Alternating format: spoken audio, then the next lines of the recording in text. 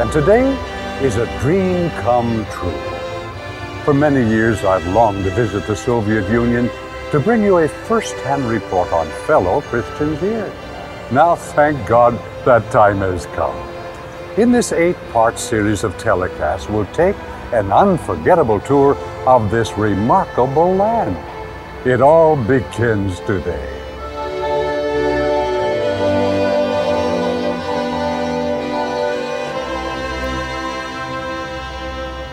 It is written. This is George Vandeman presenting as the answer to your deepest needs, the living Christ. Today from the Comrades in Christ series on the heritage of Soviet faith, a dream come true. This is the heart of Moscow. Across the river is the Kremlin, which is adjacent to Red Square. The building with onion-shaped colored domes is St. Basil's Cathedral, one of the many churches near the Kremlin. Would you believe there are 14 of them? 14 churches right here at the headquarters of the Soviet Union. Of course, all of them became museums under communist rule. Yet, despite the prevailing atheism of the past 70 years, these magnificent cathedrals have borne a testimony, silent yet powerful testimony to the religious heritage of the Russian people. Now there's a new yearning for the ancient faith, and surprisingly, religion is respectable again. Thanks to the policies of perestroika, the restructuring of society under President Mikhail Gorbachev. Across the Soviet Union, there's a tremendous revival of spirituality among Christians, Muslims, and Jewish people. So during this series of eight telecasts, as we get to know our Soviet brothers and sisters, I'm sure we'll find much inspiration for our own faith. Now you understand, I'm a United States citizen, and praise and I praise God for my land of freedom. But I've noticed that Soviet Christians are equally patriotic for their own homeland. So shall we set aside our political differences and cherish what we have in common? Let's focus on the faith in God that binds our hearts together. After all, we're comrades in Christ. Let's begin by taking a get acquainted tour around Moscow, the Soviet capital, starting right here in Red Square. This square is a vast open space paved with cobblestones more than a half mile long. Behind me is St. Basil's Cathedral with its onion shaped towers of green and red and blue and glistening gold. On the opposite end of the Red Square is the dignified red brick State Historical Museum. To the east is the GUM department store, largest of its kind in the Soviet Union. Lenin's tomb is an imposing structure of polished granite honoring the founding father of the Soviet Union. And just behind it is that ancient fortress, recognized everywhere as the Kremlin, headquarters of the Soviet government. The Kremlin is surrounded by a high wall about a mile and a half long. Five watchtowers loom over it, each topped with big red stars that glow at night. Now, 12 streets branch out from the Kremlin into the city of Moscow. Most famous is Gorky Street, a broad tree lined boulevard lined with stores and restaurants and bookshops. One of Moscow's proud landmarks is its main subway station, almost rivaling a palace with its beautiful mosaics. A subway takes us to the agricultural fairgrounds with its spectacular fountain and flower gardens. On another subway stop, we find ourselves looking up at Moscow State University. It's on a hill overlooking the river. Finally, we come to that famous Olympic sports complex, Lenin Stadium, that you've seen so often with sports events from Moscow.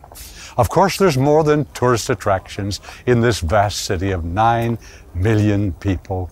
Moscow has mile after mile of factories and crowded apartments. Beyond the city in the green birch woods are the pleasant country homes of government leaders, scientists, and artists. No doubt about it, Moscow is a remarkable city.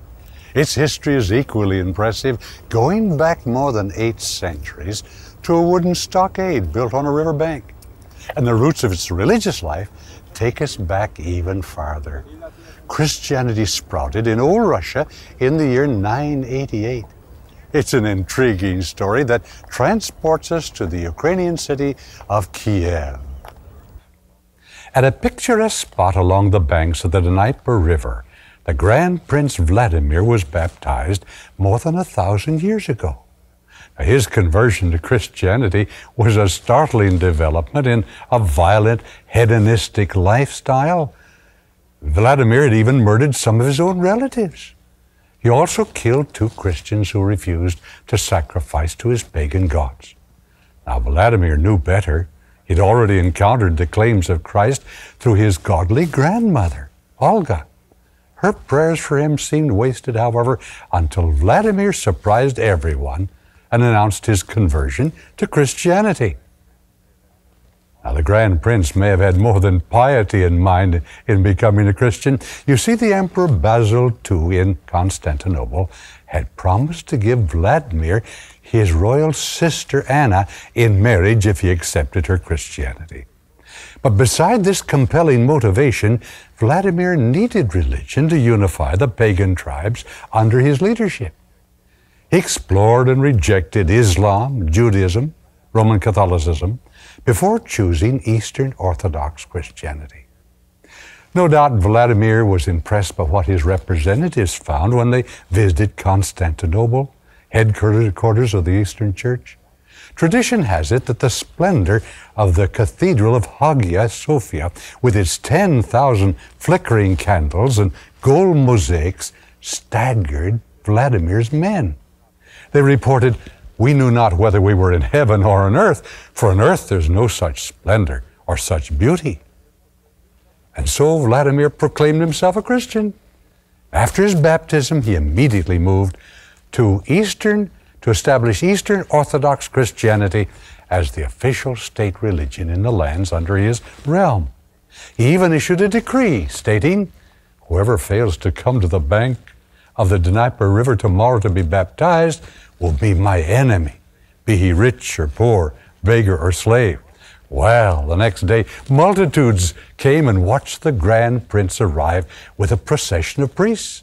And as the priests chanted the liturgy, Vladimir ordered his people to wade into the water and get baptized. It was a milestone in the history of Russia. Well, at first thought, this mass baptism might seem to be a wonderful event.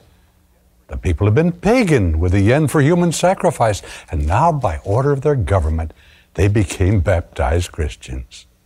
Unfortunately, individual conscience didn't seem to matter to the Grand Prince. He meant well, no doubt, but the Bible teaches that people should be free to choose for themselves about getting baptized. We see this from what Jesus said in Mark 16 16. He said, He who believes and is baptized shall be saved. You see, we must believe in order to be baptized. This obviously requires the freedom of personal choice. Forcing people to be baptized is no different than making them get married. People have a right to their own choice, don't you think? The history of Christianity in Russia as well as in Rome reveals the sad results of enforcing faith. Whenever the church influences the government to make religious legislation, freedom always suffers.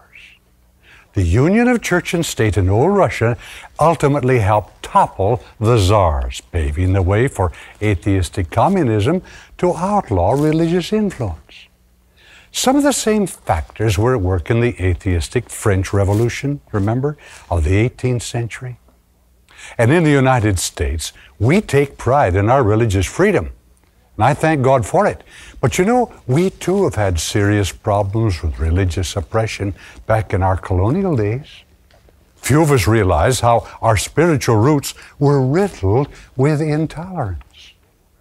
Several hundred years ago in the American colonies, unbelief was a crime. Faith was enforced by law. Believe it or not, certain religious offenses were even punishable by death in our own country. Now, that was before the American Constitution, with a Bill of Rights guaranteed religious liberty. But Bible prophecy predicts that the future will bring a reversion to religious oppression. We'll talk about that later in this series. If you want a preview of what's ahead for the next few weeks, I have something for you now. Our new book, Comrades in Christ. It's full of vital and fascinating information about Christianity in the Soviet Union, and there's no obligation. It's our gift for you today. At the close of the telecast, I'll tell you where you can call or write for your copy.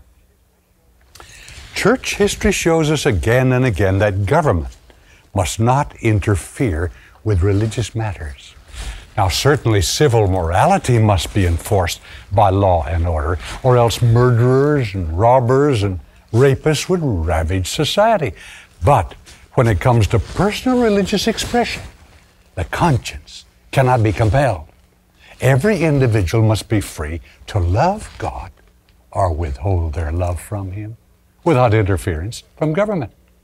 Notice what Jesus taught in Matthew 22 21. Render therefore to Caesar the things that are Caesar's, and to God the things that are God's.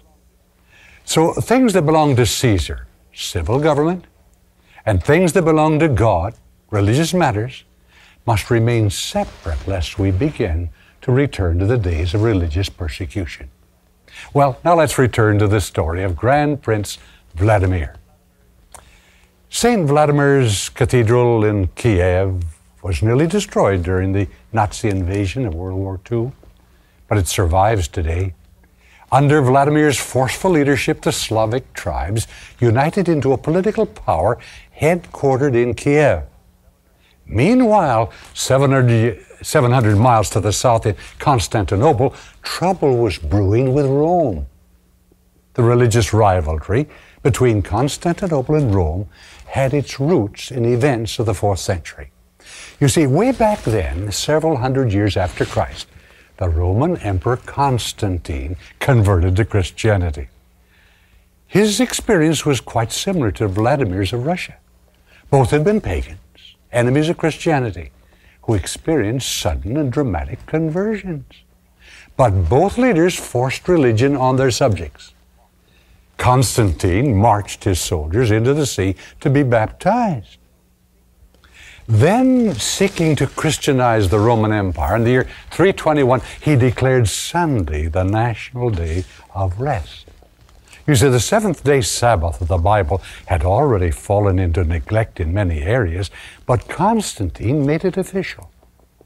Eventually, a compromised form of Christianity became the official state religion. Not long thereafter, the Church of Rome began persecuting all who res- resisted her teachings. Now, how did the church become powerful enough to persecute? That's the question because it filled a vacuum in leadership created when Constantine moved his capital from Rome. And seeking to escape economic problems and the threat of invasion by barbarian tribes, the emperor relocated 800 miles east, establishing Constantinople as his capital, now, of course, Istanbul, Turkey. From that time onward, the western part of the empire was dominated by the Bishop of Rome. Eventually, the city of Rome did fall into barbarian tribes and they're into their hands. The church, however, managed to Christianize the invaders, thus maintaining the control of the Western Empire. And to the east, Constantinople remained secure for a couple of centuries. Then came fierce raids, raids by Muslim armies, and one of their massive naval assaults is said to have involved 1,800 ships. Imagine, way back then. The Christian defenders counterattacked with a terrifying secret weapon, known as Greek fire, which burned more ferociously in water than on land. Now, the exact formula for Greek fire remains a secret to this day. It wrought terrible havoc among the Muslim attackers. Their forces were defeated. Constantinople remained in Christian hands for the next 700 years. The church in Constantinople, however, had no secret weapon in its spiritual war with fellow Christians in Rome. The dispute between the Eastern Orthodox and Roman Catholic churches centered around the pontiff's claim to have supreme authority over all Christians.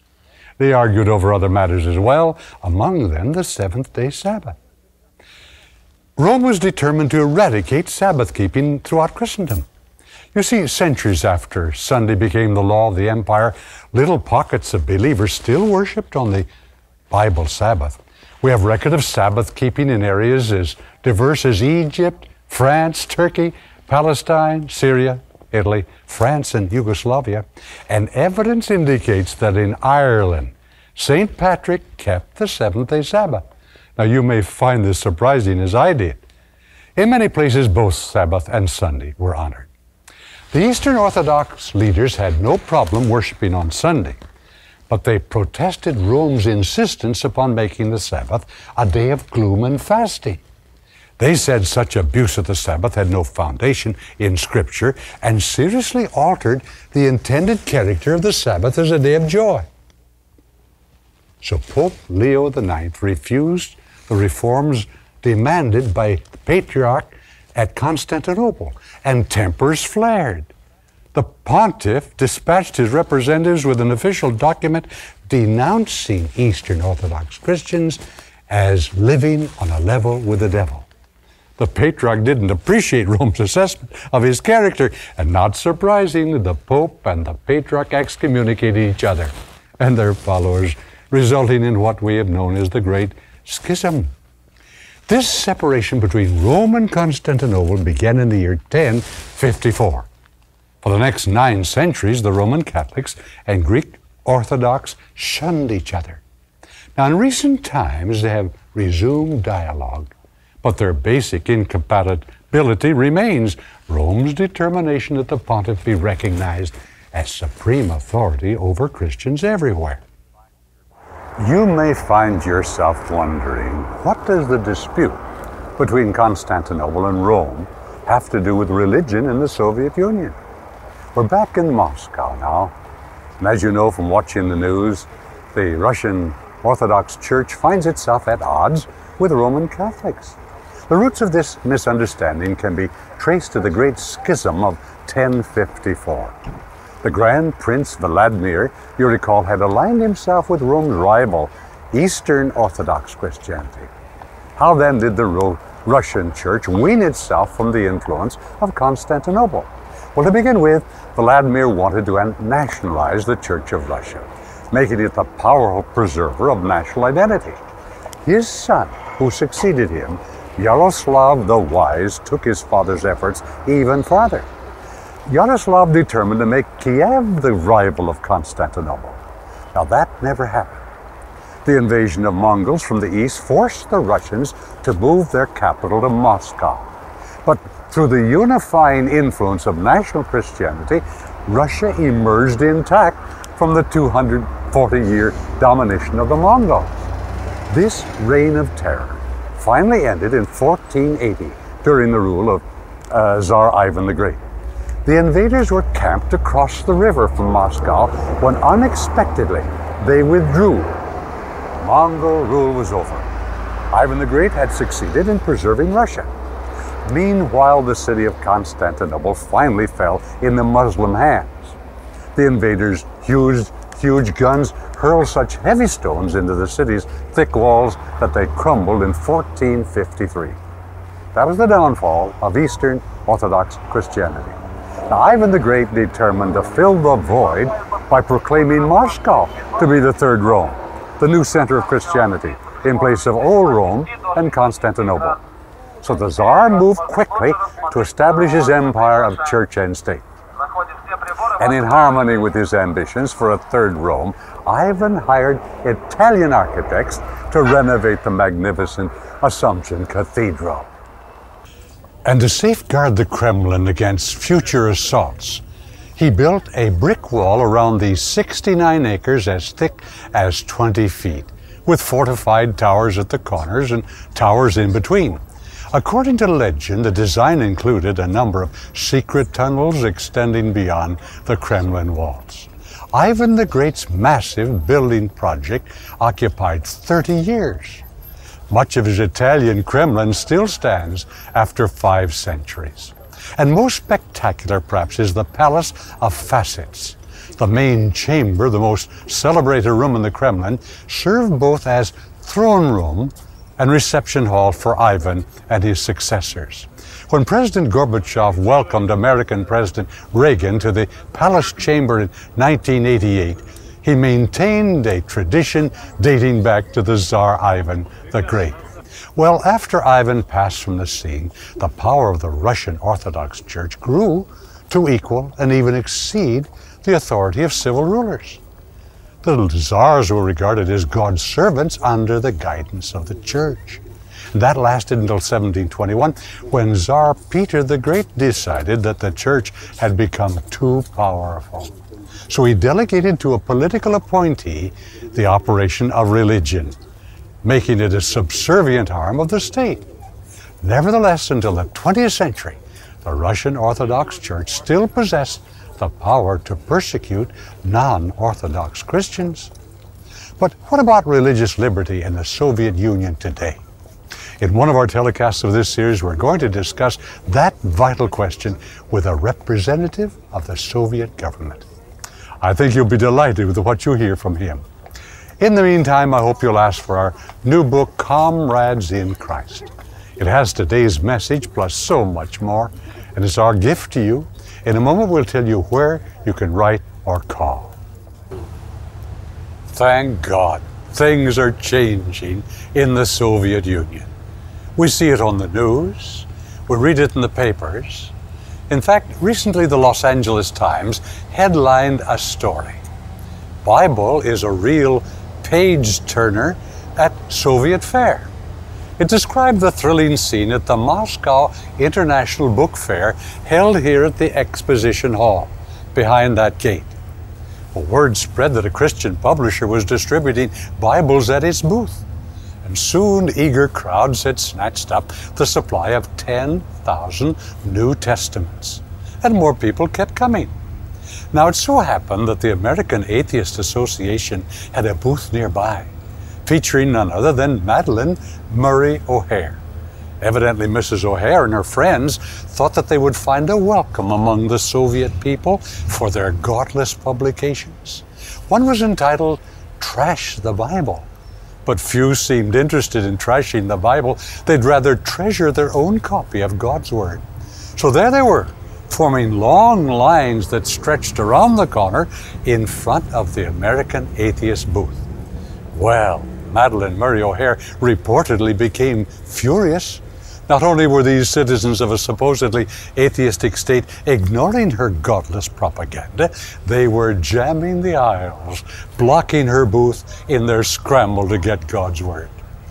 Near chaos reigned. The horrified Mrs. O'Hair summoned authorities and demanded that they control the Bible hungry crowd. Well, someone climbed onto a table shouting, Please stand back. But no, the people of Russia would not be denied their precious Bibles. They'd waited long enough, and now their time had come.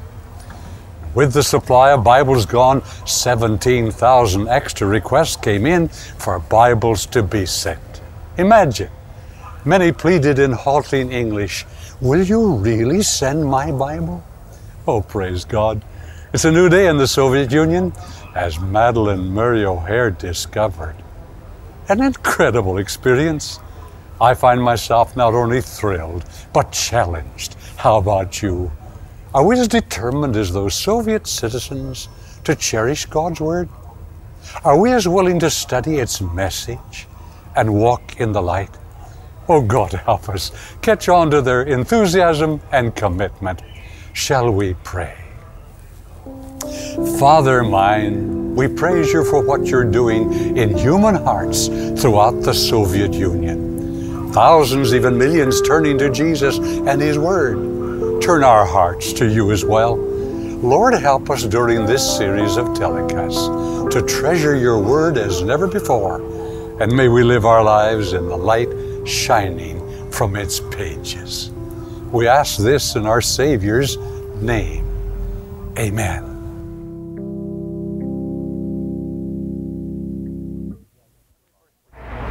When we first began to think about this project, this trip, it was almost a foregone conclusion that the first telecast would have to be entitled A Dream Come True. What else could we call it? To be right here in Moscow, in the heart of the Soviet Union, with so many precious fellow believers, is thrilling beyond description for me. Not only is this turning into an eight week video adventure, but we've poured the entire saga into this brand new book, Comrades in Christ. And it's yours, free, free for the asking. You'll be able to enjoy every word again and again with your own personal copy. Now, please don't write to me over here in Moscow. Write our office back in California and ask for a brand new complimentary copy of Comrades in Christ. Or call if you prefer. It takes just a moment and we'll get a copy into the mail immediately. Now, here is the information you need. As a convenience, you may request the free gift offer by calling our toll free number, 1 800 253 3000. Call right now, that's 1 800 253 3000. Remember, the offer is sent by mail, free and postpaid. You may have to dial the number more than once, but please keep trying. The operator needs only your name, address, and phone number, and the name of the offer you want. Call toll free now, 1 800 253 3000. Lines are open now. That's 1 800 253 3000. If you prefer, you may request the offer by writing to George Vandeman, Thousand Oaks, California, 91360. Thank you for your letters and prayer requests. Well, that's it. A dream come true. But next week, at this same time, be sure to be with us for Holy Devil of the Tsar. Sound interesting? I promise you it will be. But now the time has come all too quickly to say goodbye, everyone. But remember, it is written, Man shall not live by bread alone, but by every word that proceeds from the mouth of God.